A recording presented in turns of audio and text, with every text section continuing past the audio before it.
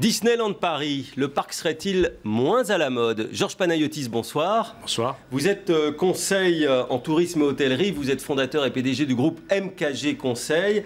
Alors on voit dans la restructuration financière qui est annoncée aujourd'hui qu'il y a quand même une baisse de fréquentation relativement importante. Est-ce que l'on peut simplement, comme le fait aujourd'hui euh, Disneyland officiellement invoquer la crise, est-ce qu'il n'y a pas aussi un, un problème un peu d'usure du parc? Je pense que les, dieux, les deux peuvent être effectivement les vrais. dieux ne sont plus avec Disneyland autant qu'avant. Mais les deux, les deux peuvent exister effectivement. La crise, bien entendu, qui touche beaucoup le pays du Sud, l'Espagne, l'Italie, la Grèce, l'Irlande aussi, et puis un peu la France, et puis d'autres ouais. pays aussi d'ailleurs. La moitié des visiteurs sont français. Hein oui, mais l'autre moitié, effectivement, mmh, viennent un petit peu d'autres pays européens. Et à part le Nord, y compris l'Angleterre, qui, qui, a, qui a eu de bons résultats, je dirais, en termes de fréquentation, le reste de l'Europe a un peu fait défaut. C'est vrai que euh, cette baisse euh, qui est due euh, à la conjoncture euh, peut expliquer en partie la, la diminution de, de, passer des 16 millions à 14 millions en deux ans. C'est vrai que c'est un petit peu euh, une baisse euh, significative, mais c'est quand même un résultat extraordinaire. 14 millions de visiteurs voilà, qui viennent. C'est le premier site privé en Europe hein, en termes de nombre de visiteurs. Et c'est un succès incontestable pour la France.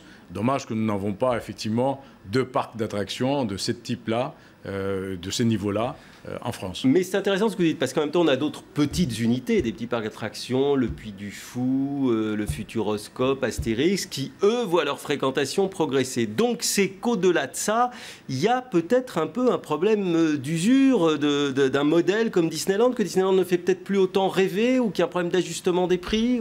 Alors, c'est pour ça que j'ai dit qu'il y a les deux, c'est que euh, Disneyland, c'est bien entendu la, Rolls en termes de, de, parc d'attractivité. Et, c'est vrai aussi que sur ces types de parcs, les investissements, euh, la relance par de nouvelles attractions est vraiment nécessaire.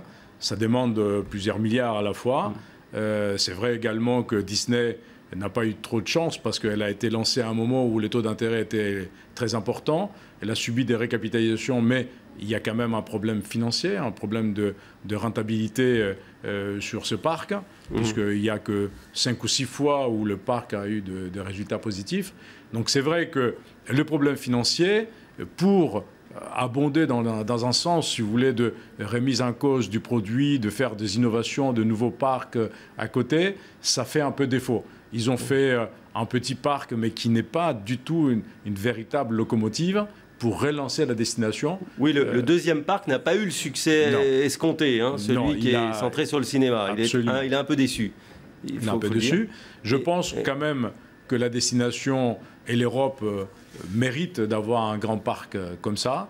Et mmh. je crois que le refinancement et la reprise en main par Disney de, de cette opération va faire que euh, le parc va innover, va effectivement se relancer sur la clientèle européenne qui a déjà visité euh, effectivement oui. ces parcs-là et qui demande à être à nouveau impressionné, à nouveau effectivement euh, intéressé par cette Mais ce que vous nous dites, c'est qu'il y a une course à l'argent, je dirais un peu perpétuelle, parce qu'il faut euh, mobiliser des sommes assez considérables pour investir dans des nouvelles attractions, plus que dans d'autres parcs. Ça a été le cas pour Ratatouille, je crois 200 millions d'euros, c'est ça la dernière attraction Disney Oui, voilà. oui 200 et donc millions. ça, évidemment, ça n'arrange pas les résultats financiers.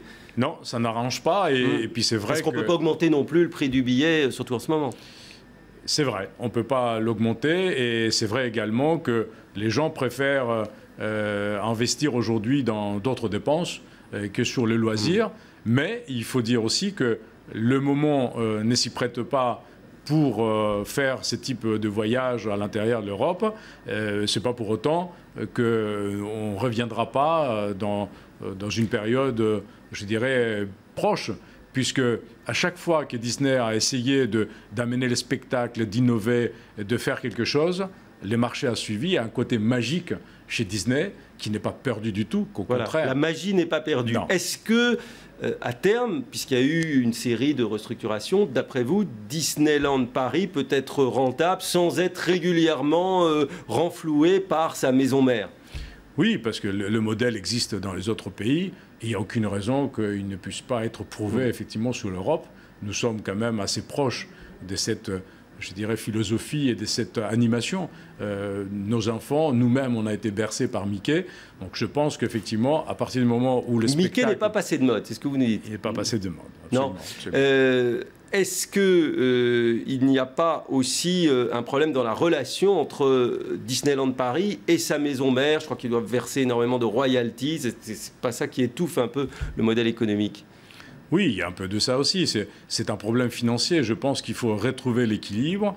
Il faut à l'intérieur de cet équilibre euh, bien doser euh, l'innovation, euh, le spectacle, mais aussi les charges. Il faut savoir quand même que les charges pèsent lourdement sur ces types d'entreprises et qui est important effectivement que non seulement eux-mêmes, mais, mais toute l'économie qui dépend de cette entreprise soit solidaire. Il est vrai qu'une telle locomotive pour le tourisme français mérite un peu plus d'intention. Et je sais que nous avons fait énormément jusqu'à maintenant pour bien intégrer dans le paysage, à la fois au niveau des transports, au niveau effectivement des infrastructures Disney. Mais ce n'est pas fini. Il faut continuer. C'est un effort, c'est une compétition internationale, le tourisme. Et, on a Donc Disneyland, ça fait partie aussi de l'attractivité de la France et ça a des retombées économiques pour l'ensemble du pays. Et en emploi aussi. Incontestablement. Et, et je pense que c'est ce qui fait que l'image française est véhiculée à travers Disney un peu partout dans, l'Europe surtout, et même en Afrique ou dans le continent voisin. Je pense que cette attractivité, elle est bénéfique pour l'ensemble de la mm. destination française, et nous avons besoin de, pouvoir la porter euh, pour pouvoir effectivement remplir à la fois le commerce et les hôtels qui sont autour. Merci beaucoup. Georges Panayotis, PDG du groupe MKG, invité de l'écho ce soir sur LCI. L'info continue.